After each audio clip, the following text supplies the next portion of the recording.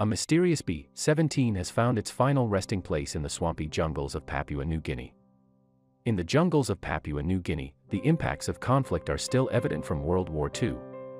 Some people might not know that Papua New Guinea is actually the scene of one of the deadliest battles in human history.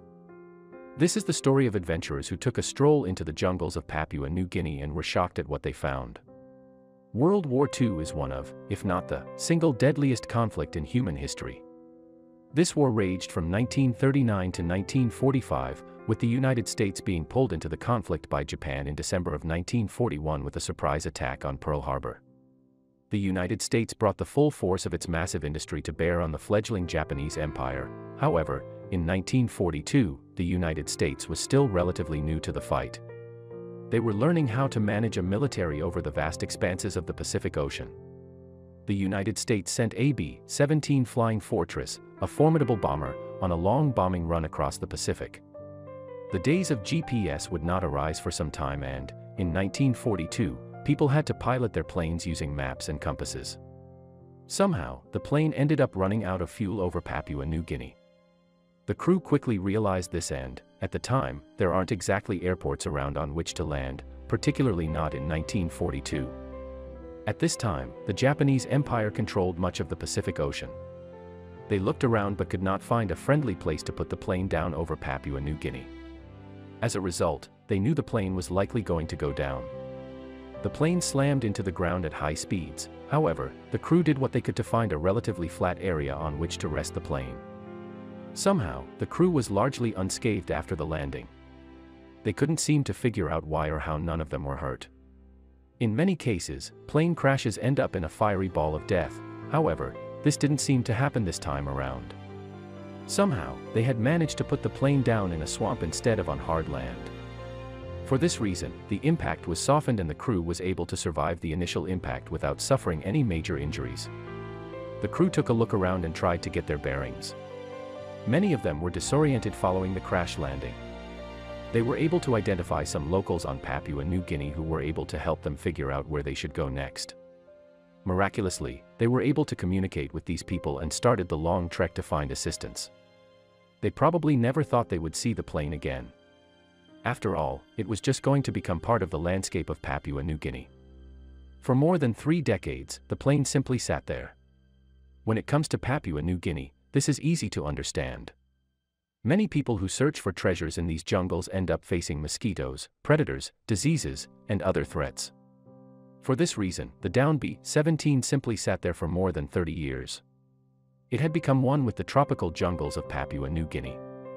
Then, in 1972, all of this changed. Some Australian pilots were conducting a routine military exercise in the 1970s over the island of Papua New Guinea. They noticed that something was sticking out of the swamp. The plane was still largely intact because it had enjoyed a soft landing in the swamp of Papua New Guinea. As these Australian soldiers took a look around, they could see the tail of the downed American plane from 30 years ago. The Air Force was happy to figure out what had happened to the famous plane. The locals of Papua New Guinea had actually given the plane a nickname called the Swamp Ghost. The plane had, in fact, landed in a swamp. Despite running out of gas, the plane was still largely intact. It looked like AB-17. Because it still looked relatively intact the name fit. Even though the plane needed to stay in Papua New Guinea, there were some people who still wanted to learn more. One gentleman couldn't just let the plane be. Alfred Hagen was obsessed with aircraft from the World War II era. As a result, he devoted much of his time to tracking down and learning more about aviation artifacts. When he heard about the aircraft on Papua New Guinea, he decided that he had to learn more. He wanted to see if there was anything that could be salvaged from this plane as well. Now, this gentleman was not alone in his pursuit of this plane. He also gained the backing of a famous restaurant owner. This entrepreneur also spent his time collecting classic planes. When he heard there was a Down B-17 waiting in the jungle of Papua New Guinea, he knew that he had to learn more about it. Therefore, he also joined the hunt for the swamp ghost. He donated quite a bit of money to the cause and wanted to learn more about the storied history of this great plane. This was only the latest in the long line of planes in which this restaurant owner was interested. Together, the two teamed up to organize an expedition that was set up to locate this legendary plane. The local authorities did not exactly want to have visitors going through the jungle looking for something that had generated so many tourist dollars for the small country. This country depends on tourist dollars to support the small economy and provide for the local population. Therefore, they bristled at the thought of people trying to learn more and possibly seize this legendary plane. They had gotten used to having this plane on the island. It had been there for 30 years. They wanted it to stay that way. Therefore, if the team wanted to learn more about this plane, they were going to have to do so on their own. Next, the team decided to get to work. The airplane had become an important attraction for the island. Therefore, it did not take the team long to figure out where it was located. They simply had to talk to some of the locals and look at some of the pads that have been carved out over time. As I walked down the path, they quickly ran into the crash site. Shockingly, the plane still looked pretty similar to when it first went down decades ago. The team brought in a group of professionals, including cameramen, to oversee the process of learning more about the famed airplane. Unfortunately, it didn't take long for them to realize this operation was not going to go as smoothly as they had hoped. While the plane might have looked good on the outside, the swamp and not been kind to it over the years. As I learned more about the plan, they realized it was actually in sorry shape. The swamp was filled with chemicals I had eroded at the plant over time. In particular, the metal hull that used to support the plane had decayed in the years that had been there. Furthermore, a lot of the wildlife had turned the plane into their home. Even dedicated explorers like the two taking a look at this famous airplane wondered if it could be saved. They thought the jungle of the island had finally reclaimed the plane. They did not give up there they knew they had to try harder. Therefore, the team decided to stick to its original goal of rescuing the plane. Even though the bomber had to create overtime, they knew it was still going to be very heavy. Furthermore, they felt like if they lifted the plane up off the ground, it will simply fall apart. This brought them cause for concern. Then, they decided that I need to try something a bit unique. They wondered if there was a way for them to relocate the plane piece by piece. Over time, the plane has become famous. In many ways, it was called the holy grail of military aviation. Therefore, the team decided to take his professionals and try to cut the plane into pieces. Then, each piece of the plane could be taken out of the jungle piece by piece. Alone, this process is going to take them weeks. This is going to sink a tremendous amount of time and money into saving a plane that has largely been decayed by the jungle. While some people might have questioned their dedication, others found an admirable. Slowly but surely, they cut the famous plane into multiple pieces. They tried to work as quickly as possible. They didn't want to give others time to interfere with your work. In addition, they also rent a military helicopter from Russia to help transport the pieces of the plane to a barge that was nearby. Then, this bar to carry the pieces to wherever they need to go. Eventually, the team had cut apart the entire plane into smaller pieces that could be transported individually. This required countless hours but was eventually finished. Eventually, the team was ready to transport the plane back to the United States. It had cost more than $100,000 to complete the project. In the eyes of the team, this was a worthy investment. While many people looked at it as a success, others are not as thrilled about it. The locals were very upset that people were taking away the local treasure.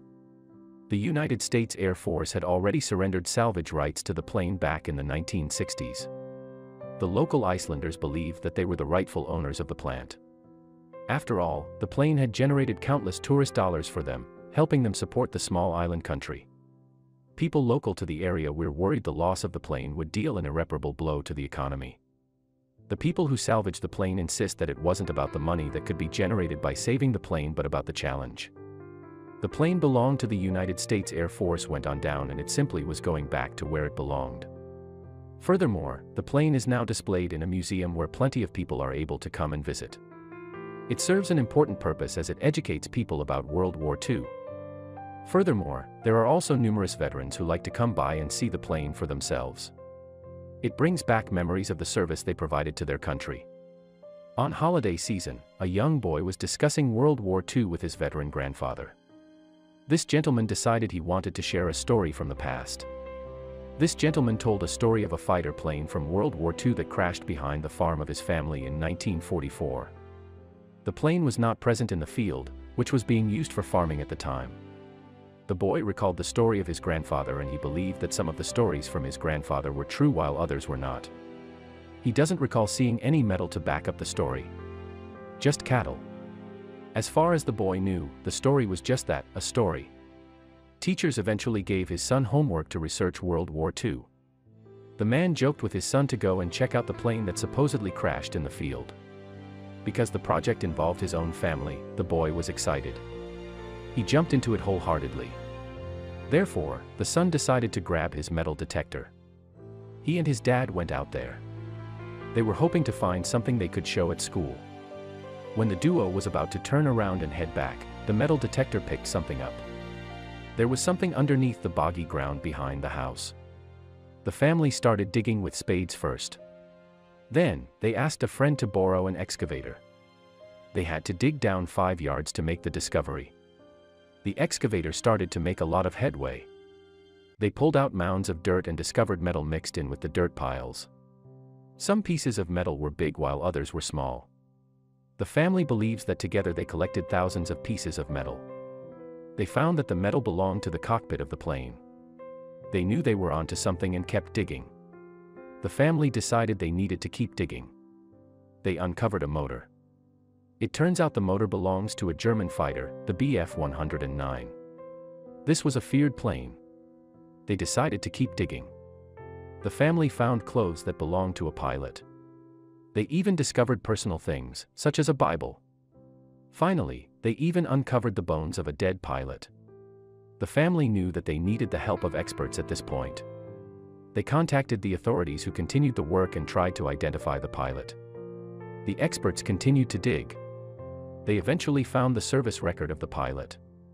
Even though this was degraded, there was enough there to read his name. The pilot was only 19 years old at the time. He was from Lithuania and flew for the Luftwaffe, the German Air Force. They also found food stamps and Danish coins. The wreckage was the pilot's resting place for 70 years. They decided to return him home for burial. Clearly, the school project had quickly evolved into something more. The wreckage of the plane, along with the pilot's belongings, was sent to a museum. There, it is on display to educate everyone who comes to see it. Of course, the student earned an A and on his project. He had clearly gone above and beyond the instructions of the assignment. The student was also given the day off from school. He got to watch the authorities work and was even interviewed by a local TV station. Cleary, the grandfather was not just telling a tall story. This is a reminder that everyone should listen to the stories of our elders while they are still alive. Their wisdom can be a powerful source of guidance.